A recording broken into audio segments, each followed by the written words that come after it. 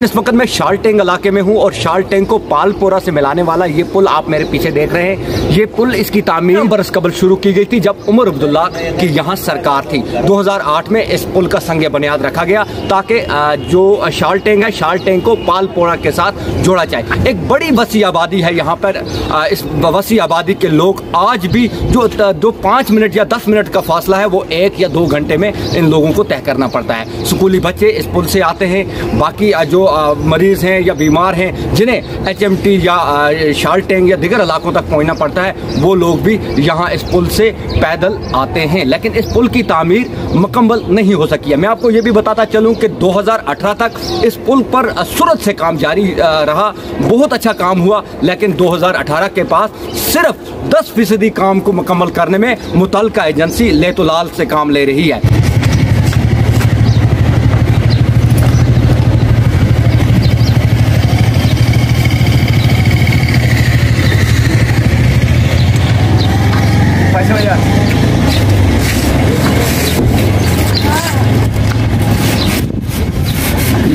कदल बना क्या यमो हु कदल अत लग वह काल बोझ जिंद कस रोज बच्चे कस मर कस कूता काल लगे अत टाइमस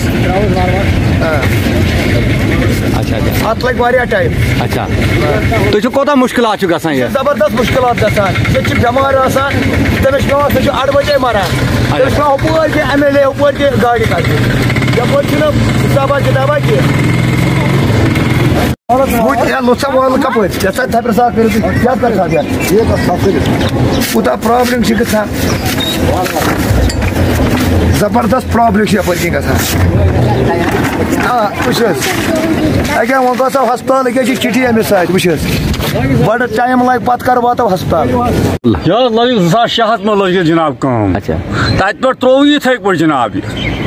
ना गोरा मज मज कर मज मज मज मज वहर दिवान नजरा वहर दिवान नजरा तो वही क्या सरकार क्या सरकार कर जल्दी मिसाल यह आराम लुकन यह आराम इनस गस यह आराम तक लकटिस कदस पे तरन बाइक हेतन जनाब बाजे ग लकट बच दरियावस और योर तरान जनाब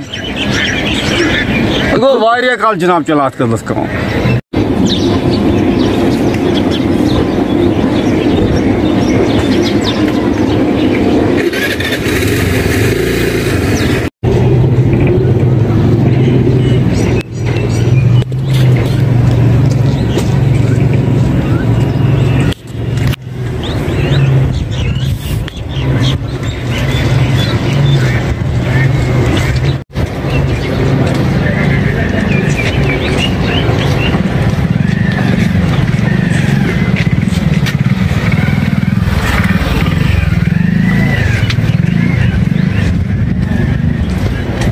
कि ये एक डेड लाइन्स को पार करने के बावजूद भी पुल की तमीर अगर मुकम्मल नहीं हुई है तो बहुत सारे लोगों को यहाँ मुश्किल का भी सामना है। कैमरामैन फारूक अहमद के साथ इस रिपोर्ट के लिए मैं इशफाक सिंह